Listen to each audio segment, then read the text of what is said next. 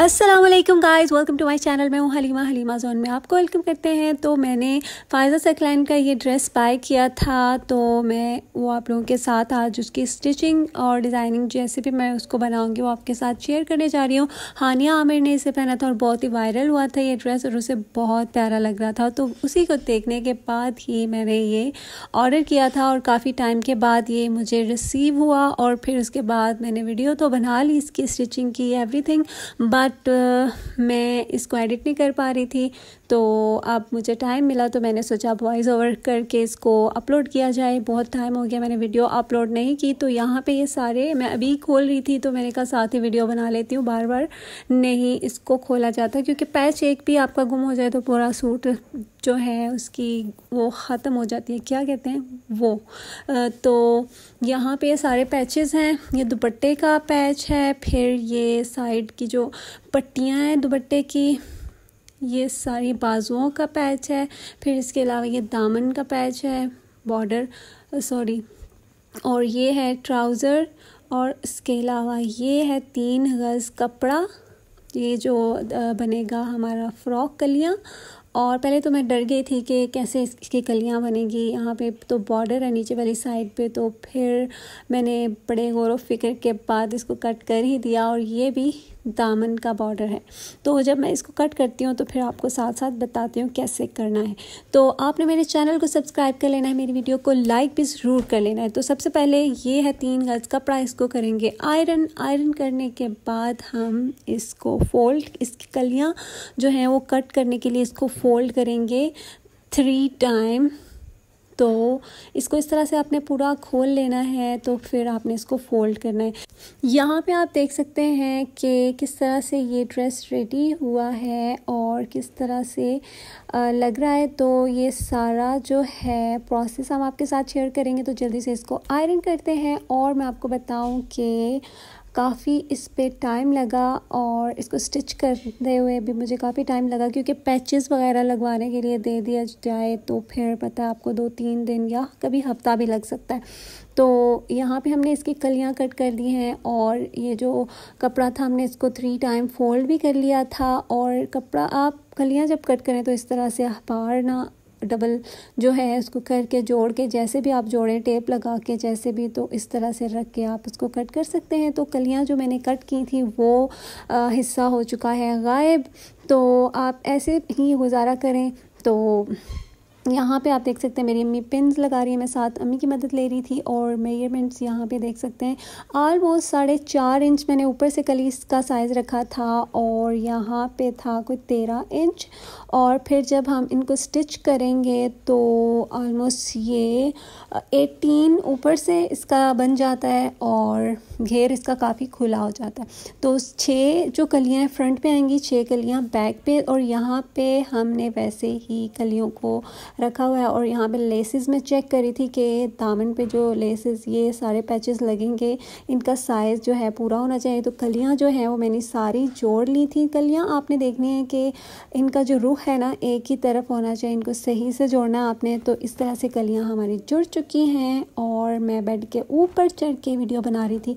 है वो तो आप छोड़ें। तो अब हम कट करेंगे इसकी बॉडी बॉडी मैंने सेवनटीन इंचज़ रखी और फिर भी मैंने कट जो है थोड़ी सी ज़्यादा की थी, क्योंकि मैंने नहीं चाहती थी कि बहुत छोटी हो जाए। खैर तो अभी हम साथ इसको कट करते हैं मेज़रमेंट करेंगे। थोड़ा सा मैं आपको बताऊँगी स्मॉल साइज़ का जो है आ, मैं फ़्रॉक जो है इसका बना रही हूँ। तो आप सिर्फ़ देखते जाएँ। पहले तो मुझे बड़ी टेंशन हुई कि ये जो फूल हैं, इनका रुख किस तरफ़ होना चाहिए? फूलों का रुख ऊपर वाली साइड पे होना चाहिए या नीचे वाली साइड पे होना चाहिए? मतलब ये देख सकते हैं आप तो इनका रुख साइड पे आ रहा था तो फिर मुझे बड़ी टेंशन थी। इतनी देर लगी थी कि मुझे बॉडी कट करने में और इसी टेंशन में एक घंटा गुजर गया और फिर मैंने कहा, चलो हैर है, एक साइड पे इनका रुख इस तरफ़ जा रहा है तो इधर ही जाने देते हैं। अगर हम इनका रुख ऊपर नीचे की तरफ़ करते तो फिर बाजुओं का कपड़ा नहीं बच सकता था तो काफ़ी नाप तोल के फिर हमने इसको कट किया और यहाँ पे मैंने आपको बताया ना, वैसे मैंने एक इंच इसको, जो है ना बॉडी इसको फालतू कट किया था, ताकि अगर थोड़ी बहुत छोटी हो जाए या ऊपर से इसका जो है शोल्डर वो थोड़े कट भी करने पड़े तो हमारी जो बॉडी है छोटी ना हो। तो यहाँ पे मम्मी की मदद लेके इसकी गोल प्लेट्स जो हैं वो मैं आ, उसके निशान लगवा रही थी। और सिलाई करने में इसको बिल्कुल भी इतना टाइम नहीं लगता। बस कटिंग करने में थोड़ा सा दिमाग लगाना पड़ता है कि आपके जो कपड़ा है ना वो ज़ाया ना हो और अच्छे से कट भी हो जाए। तो इस तरह से सिंपली हमने ये फ्रॉक कट कर लिया। अभी मैं बाजू कट करूँगी तो वो भी मैं आपको दिखाऊँगी। तो ये फ्रंट वाला पैच है और बैक वाला इसको पिन विन लगा के आप दर्जी को दिया करें। वो पैच वैच लगा के दे। और मैं रफली स्लीव्स भी कट कर रही हूँ।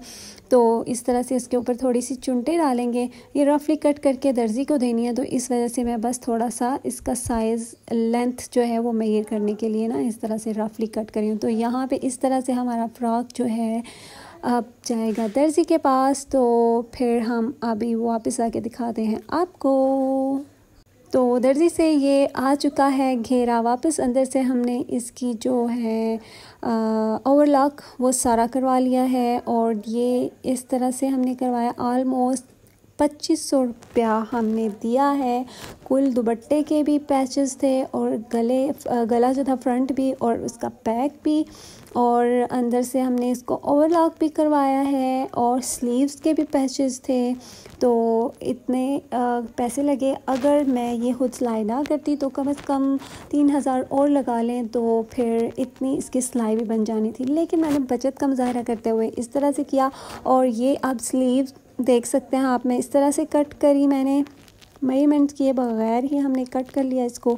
स्लीव्स में बिल्कुल सिंपल रखूँगी और यहाँ पे चुनटे मैंने ऐड किए हैं छोटे छोटे चुनटे ऐड किए हैं। पफ़ी स्लीव्स मुझे बहुत ज़्यादा अच्छे नहीं लगते तो मैं यहाँ पे पर्ल्स लगा रही थी और हाँ गले पे मैंने इस तरह से पर्ल्स लगाए हैं, फिर स्लीव्स के फ्रंट पे मैं इसी तरह से पर्ल्स लगा रही हूँ और जो घेरा है फ्रॉक का, उस पर भी मैं पर्ल्स लगाऊँगी और उसके बाद जो दुपट्टा है वहाँ पर टसल लगेंगे उसके चारों कोनों पर और कोई कोई पर्ल्स भी लगा दूँगी।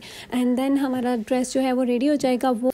तो गाइज़ आपके लिए यही फाइनल लुक है, क्योंकि बहुत टाइम से मैंने वीडियो अपलोड नहीं की, जिसकी वजह से मुझे बहुत जल्दी अपलोड करने की तो इस वजह से और अभी बाकी जो टसल्स वगैरह दुपट्टे पे लगेंगे, क्योंकि दुपट्टे की लेंथ जो है मॉडल्स ने जहाँ पे पहना है, वहाँ पे लेंथ उसकी तीन गज़ आलमोस्ट लग रही है। ज़्यादातर जो डिज़ाइनर वियर होते हैं, उनके दुपट्टे जो होते हैं, तीन गज़ ही होते हैं। लेकिन यहाँ पे इस जो डिज़ाइनर है, उसने बहुत बकवास काम किया है कि अढ़ाई गज़ दुपट्टा दिया है। वो भी टिश्यू का औरगेंजा है ये।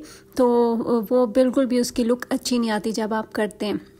तो है इसके साथ टसल्स जब लगेंगे तो थोड़ी सी लेंथ इसकी बढ़ जाएगी। और दूसरी बात मैं आपको बताना ही भूल गई कि ये हाफ़ वाइट ड्रेस है।